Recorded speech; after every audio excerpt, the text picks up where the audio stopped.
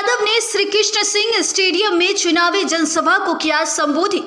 आगामी लोकसभा चुनाव को लेकर इंडिया गठबंधन के उम्मीदवार अर्चना रविदास के पक्ष में चुनावी सभा को संबोधित करने तेजस्वी यादव श्री कृष्ण सिंह स्टेडियम पहुँचे, जहाँ कार्यकर्ताओं व समर्थकों ने उनका जमकर स्वागत किया।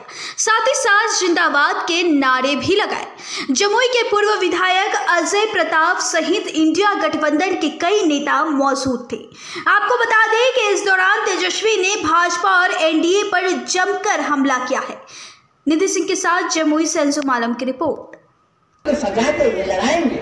सबको तो भजपुरे में ज्वाइन करा लेते हैं केसवा दर्द करा लेते हैं। और दूसरा तरफ़ रहेगा तो लेकिन हम लोग सब लोग भाई हैं मिलके रहेंगे। इस देश की आज़ादी में सभी लोगों का कुर्बानी है। चाहे हिंदू हो मुसलमान भाई हो चाहे सिख हो चाहे ईसाई हो सब लोग, हम लोग मिल के रहेंगे, यही हमारी देश की खूबसूरती है। सब लोगों को इज़्ज़त कीजिए, सब लोगों को इज़्ज़त दीजिए। हम लोग देखिए टिकट बांट रहे हैं हर जगह।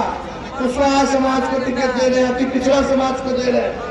दलित समाज को दे रहे हैं, स्वर्ण समाज को दे रहे हैं, यादव समाज को दे रहे हैं। सभी लोगों को हम लोग, मुसलमान भाइयों को दे रहे हैं।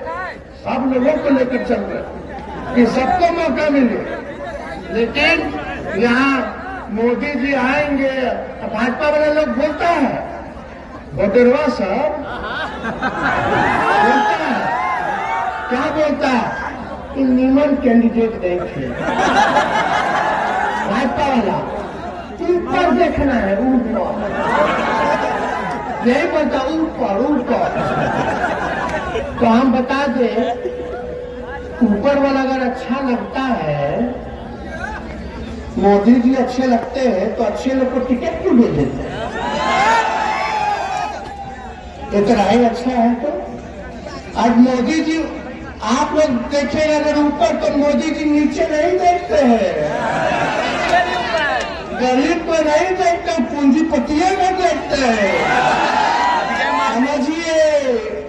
ध्यान में ध्यान लोग बोलता देश का ना विकास। जब आपके गाँव का विकास नहीं होगा, आपके ज़िले का विकास नहीं होगा, आपके राज्य का विकास नहीं होगा तो देश का कैसे हो जाएगा? आदरणीय स्वर्गीय रामविलास पासवान जी से हमारे पिता का क्या ताल्लुक रहा? वो किसी से छुपा नहीं है। अब चिराग उनके बेटे हैं, हमारा पुराना परिचय है। कई बार हम लोगों ने